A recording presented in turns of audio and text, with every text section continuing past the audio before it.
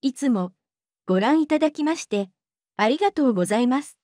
今回は函館本線の絶景区間の紹介です。函館本線の路線区間は函館駅から旭川駅まで路線距離は 423.1km です。絶景区間は特急北斗7号に乗車して撮影をいたしました。特急北斗号運行区間は函館駅から札幌駅路線距離は 318.7km です。撮影は森駅から音標駅までの区間です。乗車した電車のステップです。キハ281点特急北斗製造は富士重工業最高運転速度は 130km 毎時全長は21.3メートル全高4.077メートル車体はステンレス製ですなお281系は2022年10月23日に運用が終わっています。